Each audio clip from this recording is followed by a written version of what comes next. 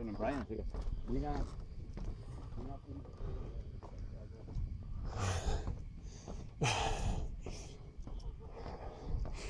I think future racing is downhill, downhill, hardcore, fast, speed, style. That's future obstacle racing. Maybe some new type of race, missile races.